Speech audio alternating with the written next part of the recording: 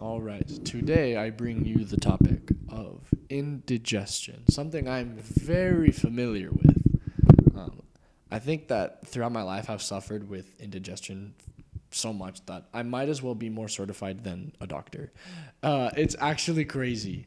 Uh, and I think it's a lot largely genetic, but also uh, I've been able to eradicate my indigestion over the past like five or six months almost completely.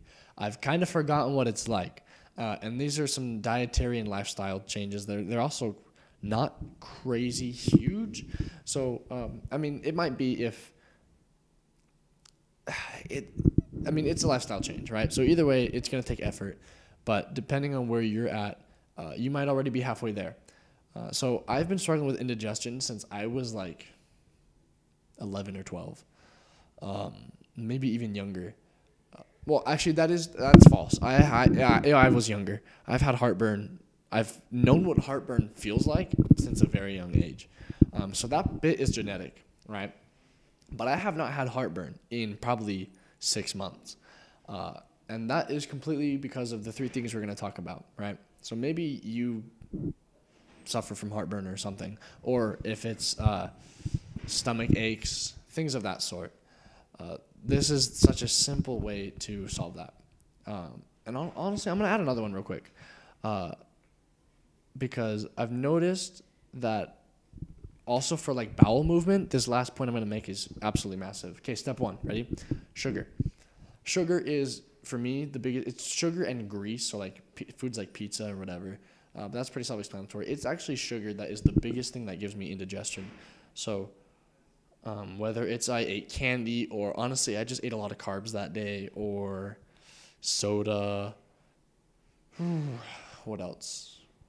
Oh, uh, fig bars. I used to have a like fig bar addiction, uh, and I'd eat not not an addiction, but I eat like three a day. that will give you heartburn. Uh, let me tell you.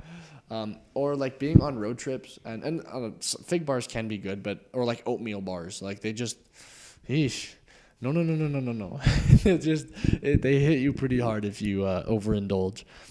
Average. I want you to picture the average gas station trip or like stop on a road trip. Okay, like whatever dookie you're buying, and I'm I buy the dookie too. If it's like slushies or it, it just it kills it kills, um, and that that will cause me heartburn, but also like stomach aches and uh, also kill my bowel movement so being able to be very conscious of sugar and uh, cut down on that has been great.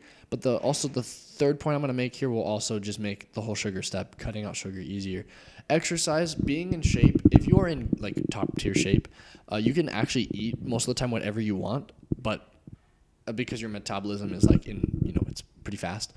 But i still wouldn't recommend that uh, because you're still subject to getting heartburn uh, you'll you'll definitely be affected less from the bad foods, but uh, that's a really horrible excuse for eating junk food. Oh, I'm in really good shape, so I can eat a whole pizza.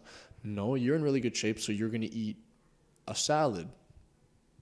You're gonna eat a fruit, so you can stay in good shape. It's really simple. But I used to do this, especially when I was playing high school basketball.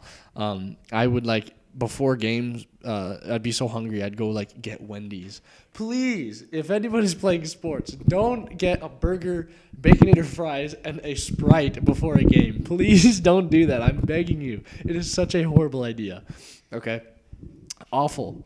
But being in shape does, in fact, uh, just regular exercise. If you're exercising every day for at least like 15 minutes, uh, just if you're if you're allowing yourself to sweat through exercise, if you're exercising to the point of sweating every single day, Awesome. Great. You'll probably suffer from indigestion, you know, quite a bit less.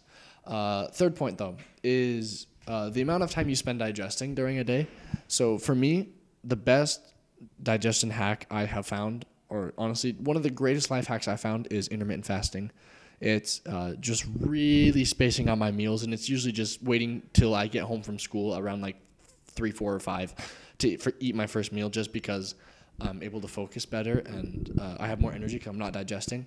But uh, the more time you spend digesting, honestly, you're more likely to get backed up. You're more likely to just there's going to be some wear and tear, honestly, on your uh, organs just because of constant running.